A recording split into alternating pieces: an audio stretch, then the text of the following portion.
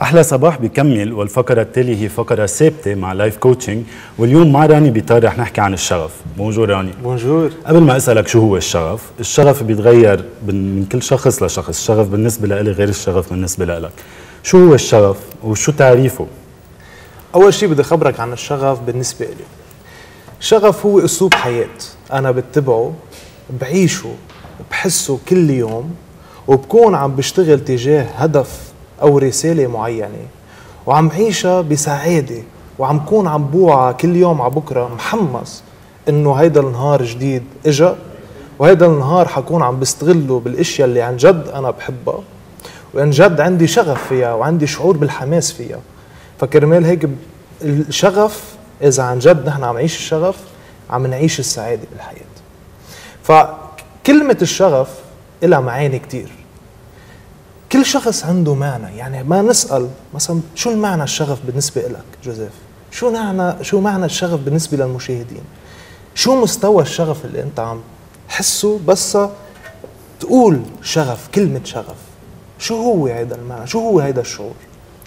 بس المعترف فيه وخاصة كمان قبل قبل ما نقول إنه الشغف ممكن يكون للأشياء الصحية أو سلوك صحي أو سلوك غير صحي. مش دائما شيء مش دايما إيجابي. شيء إيجابي. فالمعنى الحقيقي للشغف والمعترف فيه اللي هو الشعور بالحماس الشديد مش بس شعور بالحماس الشديد هو رغبة كمان بأي موضوع معين أو أي شخص معين أو أي شيء معين. يعني هذا راني التعريف على الورقه والقلم إذا بدنا نقول. ولكن كل شخص يعني بتتغير عنده. يعني وقت يقرأ شغف بيروح راسه غير مطرح. مش هيدول الكلمات بالتحديد. مثل ما أنت ذكرت قبل شوي إنه أنت بتوع محمص مبسوط. شو هن علامات الشغف عند الإنسان؟ تيعرف إنه هو عن جد مبسوط بالشغلة اللي عم يعملها. قبل ذكرك بشغلة كمان إنه الشغف هو رحلة متطورة.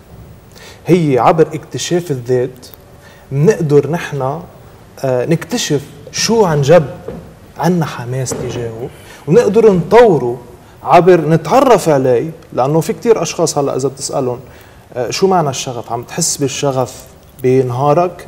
بقول لك لأ ما بعرف شو هو الشغف. أول شيء بدي أعرف شو تعريف الشغف بالنسبة لي وإدركه إدركه بالواقع لاقدر أتمرن عليه مع الوقت.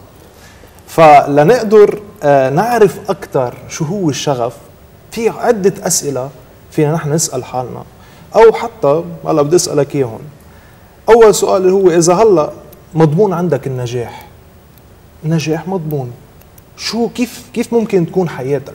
كيف ممكن تكون عم تنظم وقتك؟ كيف حتكون عم تستثمر وقتك؟ هيدي واحد من الأسئلة. السؤال الثاني وهيدي مثلا هودي الأسئلة كثير مهمة لنقدر نطرحها لنقدر نكتشف أبعاد شو شو هو الشغف؟ هذا كل شخص فيه يطرحها على حاله يمكن بتوعي له إشياء براسه ما كان يفكر بس بدي اقعد بيني وبين حالي وكون صريح مع حالي صريح مع نفسي وما يكون في عندي ديستراكشنز أو إشياء عم تلهيني من ما أكون عن جد مركز بحالي مركز بنفسي. ف وحدة من الأسئلة كمان إذا هلأ إجوا عرضوا أهم جامعات العالم عليك منحة لتقدر آه، تتخصص فيها وبيعطوك معاش شهري بيعطوك كل الاشياء اللي انت ممكن آه، بدك اياها أو بحاجة لها شو الاختصاص اللي بتنقيه لتوصل للبي اتش دي أو لتوصل للدكتوراه؟ طيب وحده من الأسئلة كمان اللي هي شو أكثر موضوع تفتحه مع أصحابك مع أهلك مع أصدقائك؟ بتحس إنه في شيء جواتك عم يديرك بدون ما تلاحظ على نفسك وبتحس إنه الوقت قطع بسرعة.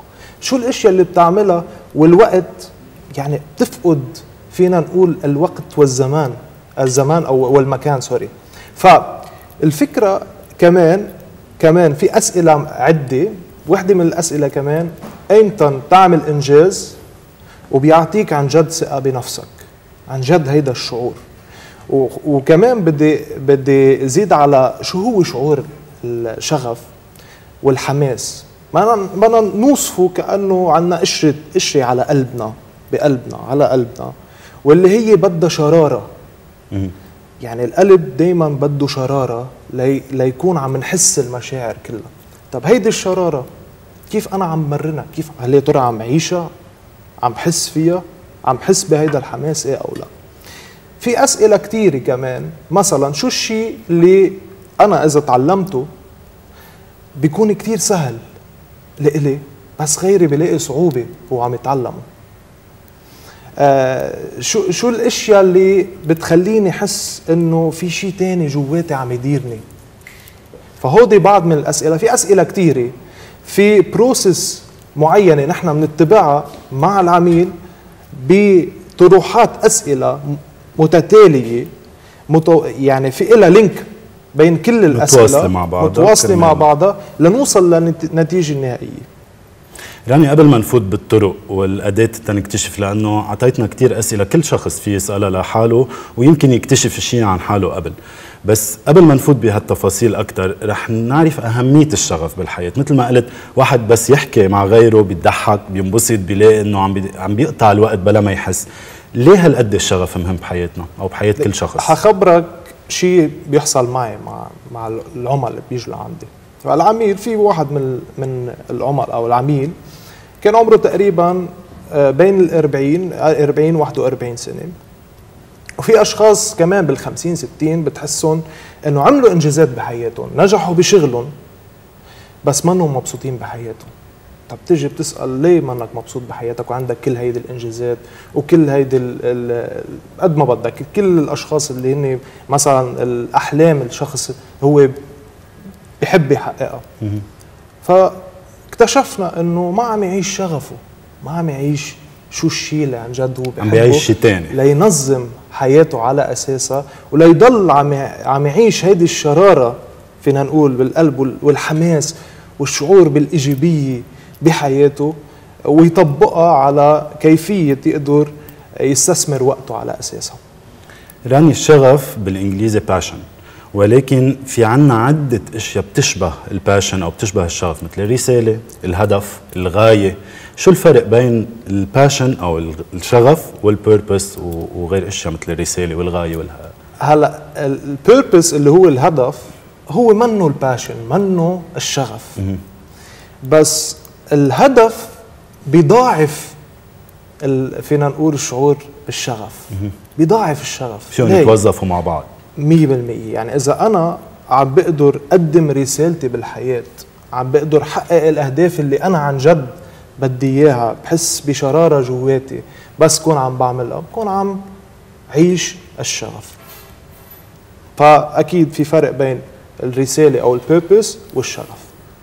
إيه، أكيد يعني بالنهاية بس واحد يكتشف شغفه في يمكن يلاقي شغل قريب على معقول يعمله لأنه لما تسأل شخص شو شغفك بالحياة بيقول لك شغلي هل يا ترى شغلك بشكل عام أو شيء معين بشغلك؟ آه. كيف هون فينا نشتت الفكرة؟ كرمال نعرف الشغف مزبوط. وحدة من قلب ال processes اللي نحن نحن بنتبعها هي بنقدر نسأل الشخص شو الشيء اللي بحس إنه هو in the flow أو بحس حاله ماشي بدون ما يحس بوقت هو وعم يشتغل. أي جزء من شغله بحس هذا الشعور. شو الشيء بقلب شغله بحس إنه محمس ليعمله أو ينفذه؟ شو جزء؟ بيكون جزء صغير لنقدر نكتشفه. في كمان شو الأشياء اللي الشخص عنده حشية لاكتشاف أكثر والاطلاع أكثر على مواضيع معينة اللي هي حتقدمه اللي هو عنده انترست فيها أو عنده آه، فينا اهتمام. اهتمام فيها. آه، الشغف معقول أوقات يكون يفوت لمرحلة هوس. كيف ما بنوصل للهوس وشو الفرق بين الشغف والهوس؟ هلا شغف شيء والهوس شيء ثاني كليا. الشغف هو الشعور الحقيقي اللي هو نحن بنحسه الهوس هو هروب من واقع معين بيكون عم عبيه بسلوك معين اللي هو عبيته مع الوقت تمرنت عليه مع الوقت وهيدا السلوك ممكن يكون سلبي أوكي؟ بقدر روح للهوس له وما بقى بفكر بشيء تاني غيره. فكيف في أنا فوت الشغف بحياتي اليومية؟ مش إنه أنا شوف الشغف وامشي على أساسه. كيف في فوت هيدا الشغف على الوقت أو كل سلوك أو كل شغلة أنا بعملها بحياتي؟ يعني بوظف الشغف بحياة كل يوم اليومية. تقدر أعطي أكثر تقدر أوصل للهدف الأكبر.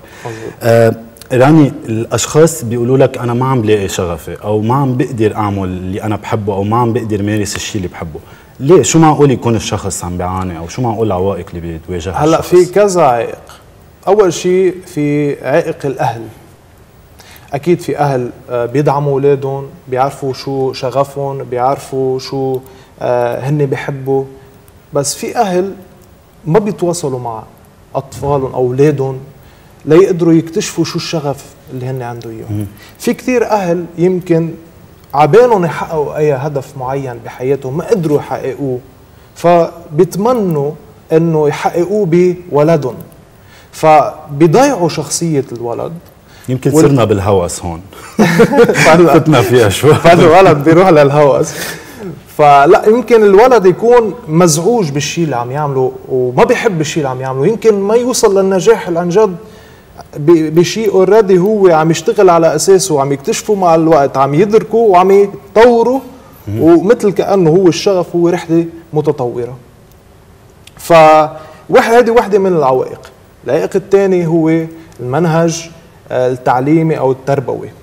نحن معودين بالمدرسة أو بالجامعة إنه نتعلم مواضيع ونتعلم دروس لنقدر نوصل على الامتحان لنقدر ننقي الجواب الصح. تعلمنا على نقدر نكتشف أو آه، نجاوب جواب صح. بالحياة مش هيك. الحياة في صح في غلط.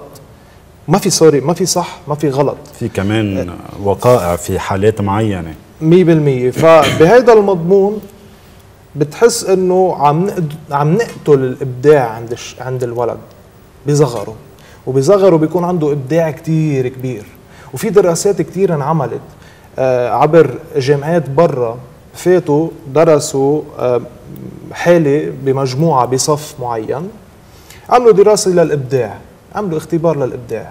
لقوا بصف الأول 95% من الأولاد أو الأطفال عندهم إبداع. ضلوا عم يتابعوا معهم لصاروا بالثانوية. فرجعوا عملوا نفس الاختبار لاحظوا إنه 5% فقط من التلاميذ عندهم الإبداع. بتعرف آه، راني الشغف بشكل عام موضوع كتير كبير وأكيد رح نتطرق له بحلقات آه، جاية لقدام. ولكن آخر سؤال بدي أسألك يعني already ذكرت أنت أسئلة كتير من- ممكن نطرحها على حالنا كرمال نوصل لنلاقي الشغف تبعنا. آه، خلينا هيك بطريقة سريعة. خبرنا انت ك life coach كيف بتتعامل مع الأشخاص تيقدروا يكتشفوا الشغف تبعهم؟ 100% ففي process نحن بنتبعها. في أسئلة بنتبعها. بنبلش أول شيء نكتشف نخلي العميل يكتشف شو القيم الأساسية بحياته. نسأله هل يا ترى عم يعيش تجاه هيدا أو عم يعيش aligned أو تجاه هيدا القيم عن جد أو القيم اللي عن جد بحياته عم عم تكون موجودة بحياته اليومية. إذا عم بيقدر يطبقها عم يطبقها يعيشها. 100% ال- ال process الثاني شو الأدوار اللي عم يلعبها بحياته؟ شو هو الدور اللي عم يلعبه؟ هل يا ترى هذا الدور آه، هو اختاره أو تعلمه من الأشخاص اللي حواليه من المحيط اللي له؟ شو المعتقدات ومعنى الحياة أو معنى الشغف اللي كانت موجودة عند الأهل أو الأشخاص اللي كانوا عم يقدموا الدعم للأولاد؟ نرجع منفوت. شو شو الأشياء اللي عبالهم يغيروها بالعالم؟ شو الاشياء اللي عن جد بتعني لهم بالحياة؟ شو بنرجع بنفوت أكثر بالسكيلز أو المهارات والمواهب الموجودة عندهم. شو الشيء اللي بيجي سهل عليهم؟ آه، وهن هن أسئلة متتالية. بنرجع بنفوت كمان مش بس بهيدا بنشوف نكتشف كمان شو الشغف الموجود عندهم إذا كانوا كانوا موظفين بشغل معين. نرجع منفوت آه، باكثر أسئلة. نقدر نعرف شو هن المعتقدات اللي عم توقفوا من ما هو يكتشف شو شغفه. نرجع منفوت شو الانترست أو شو يعني عن كمان هذا. هذا يمكن ال- الطريقة اللي بتختلف من شخص لشخص. 100% ولكن نحن هلأ أعطينا العالم فكرة سريعة وأنا كمان بدعي كل العالم تسأل هول الأسئلة. وإذا عندها أسئلة هي بدها تطرحنا عنهم للفقرات الجاية لأنه هذا موضوع بعتقد رح ينحكى عنه أكثر إذا مش بالتفصيل رح ينذكر كمان بحلقات جاية. وقتنا قصير لليوم هو راني. موضوع كبير كمان. موضوع كتير كبير. ولكن أنا برجع بدعي العالم تسأل تحط لنا هاشتاج أحلى صباح. يمكن نقدر نجاوبهم على بعض الأسئلة بالحلقة الجايه راني بيطار life coach merci كتير لك على هالحلقة. بتشكرك على التعاون كمان. لك. أحلى صباح بيكمل ولكن بعد هيدا ال break.